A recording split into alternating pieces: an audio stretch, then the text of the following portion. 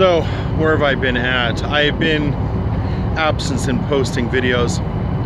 Part of the reason is I've been trying to give longer, more deeper thought internally to myself where I'm at with the depression and trying to come to terms with are my patterns working, are they not?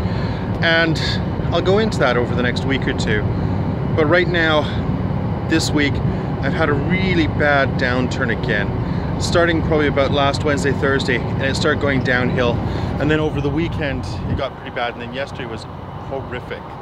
Nothing was happening um, specific that caused it. But the simple reality was that yesterday, I was lost. I was lost in the depression. I couldn't break my way out of it. There was nothing that I could do. I couldn't even get outside for a walk. I was paralyzed.